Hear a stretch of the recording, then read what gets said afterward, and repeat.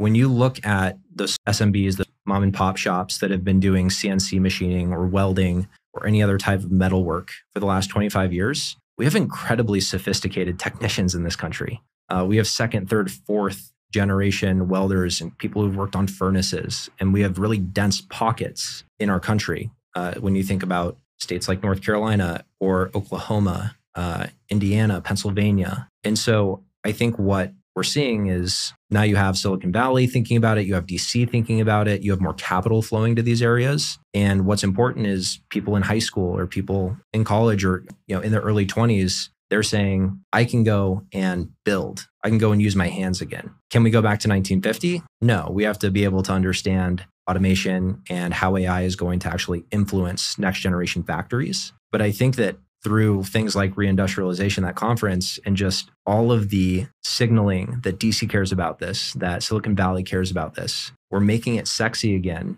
to some 14 year old, some 18 year old who says, I want to go and build and serve this country with my hands.